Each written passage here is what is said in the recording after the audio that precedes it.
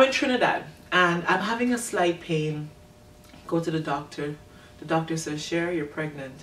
But because of the pain, we're gonna have to send you to the hospital to do an ultrasound. So I go to the hospital, they do another pregnancy test, they confirm, yes, you're pregnant. So I'm thinking, okay, you know, mm, whatever. Go and do this ultrasound. The result comes back, no gestational sac. What does that mean? It means that there's no baby because there's no gestational sac. So I think, oh, okay. While at the hospital, I start getting these awful pains. And so they keep me and the doctor orders a beta test. Go and I do the beta test. Two days later, you have to do another one so that you can compare the findings. And the findings show that the test has gone up almost 20,000 points. Now, if I was, if there was no gestational sac, the points should have been going down, but they went up drastically, which means that clearly something is there, doctors. So they send me for another ultrasound. Take the ultrasound the second time, and all of a sudden, the ultrasound comes back. There are two babies. What? So I'm confused, they're confused. The doctor is saying to me, listen, there are two babies, yes, but they're in the fallopian tube and it's not where they're supposed to be. Your life is at risk at this point. So I'm thinking, okay. He says to me, your treatment is going to be determined by whether or not these two babies are alive or dead. If they're alive, then we have to do surgery. If they're dead, then we just give you an injection. So he calls the person who did the ultrasound, says to them, was there cardiac activity?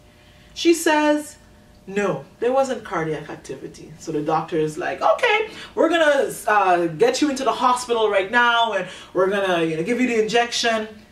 I'm telling you, everything in me, the Holy Spirit is just screaming, don't stay, don't stay, don't stay, get a second opinion. So I say that to them. I said, you know, I think I want to get a second opinion um, you know, this is the public hospital, I want to go to the private hospital. So they said, okay, no problem, you can go and do that. They give me another requisition. I go to the private hospital.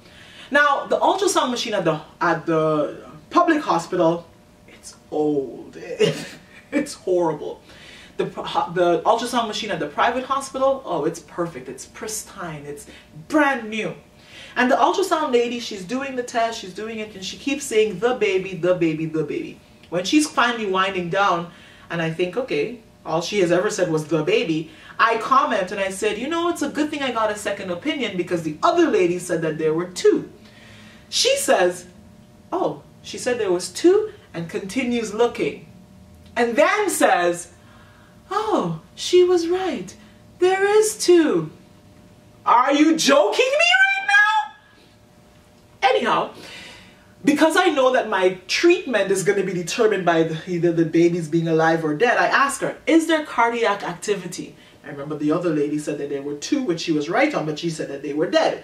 This lady turns the screen to me and says, look, I can see them moving, both of them. And then she turns up the audio, I hear them both at this point in time, I'm thinking, you know what? First they said there was no baby, then they said there was two. Then they said they're dead, now they're alive. I think God is going to do something very unique in this situation. Why? The thing with an ectopic pregnancy is this. If you are pregnant in the tube, the tube will grow, grow, grow, expand past its normal size and then it will rupture when it ruptures, not only will the babies die, you have five minutes to live. But because everybody kept saying first death, then life, they kept giving me different different uh, opinions. I determined, you know what, Lord, every time they said death, you said life. I believe you're going to do something special, and so I'm not doing surgery. If you want me to do surgery, Lord, give me a sign. Well, he finally did. My mother called me and she had had a dream two weeks prior to me even knowing that I was pregnant.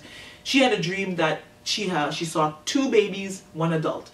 The adult looked dead. The two babies were dead. She went and she shook the adult and the adult woke up, but they were very weak. But the babies were dead. Well, I took that as my sign. I thanked the Lord. I was very saddened because I was really hoping that the Lord would save the babies. And I got on a plane the next morning and came to Canada. Just imagine it, walking into the hospital. Hi, yeah, I just came from Trinidad. Um, I have a twin ectopic pregnancy. Nobody believed me. In fact, one of the hospitals had me sitting there for probably about four or five hours in the waiting room. I fell asleep. To cut a long story short, they told me that uh, if in case I felt any kind of pain, to call them, but if not, they would have the surgery in the afternoon. Well, all the pain that I had been feeling completely stopped. All went away. Four o'clock in the afternoon, when I finally went into surgery, they told me this after the fact. As soon as they cut into me, they got the cameras in, my tube ruptured. But they were already there. And so they were able to take away the tube. Of course, the babies didn't survive. They never had a chance. But they saved my life. And I realized something in that moment. God had orchestrated this entire experience to show me what his sacrifice is for me. Let me break it down real quick. While we were yet sinners, the Bible says, Christ died. And so while we were in the midst of dying eternally in our sin, God already had a solution in mind, Christ, and he died in our place. When my tubes ruptured, the doctors were there in time just to save me. And it's exactly what God did to save all of us. He's perfect. His love is perfect. And he loves us all. And he wants to spend the rest of eternity with us. He rescued me. He wants to rescue you.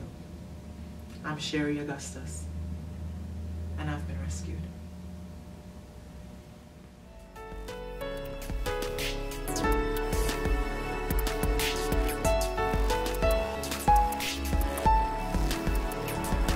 Hey, what's up? You're watching We the Rescued. Today is the fifth installment of our week-long video devotional and prayer series.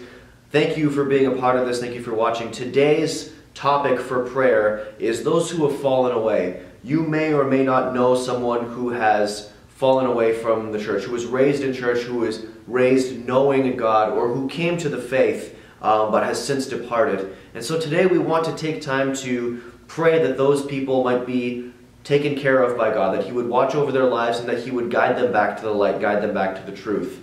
Um, there are a lot of things that happen in this world, and it can be hard to hold on to faith. We want to sympathize with those people, not judge them, but understand that we all face similar kinds of things. So take some time to pray for those who have struggled with their faith, who have reached the conclusion that they don't want to be a part of it, or who are just struggling and, and trying to find the answers to those questions. Pray that God would reveal Himself to them. Thank you for being part of this series. Make sure you subscribe to our channel. There'll be plenty more coming your way soon. And uh, stay tuned for the rest of this week.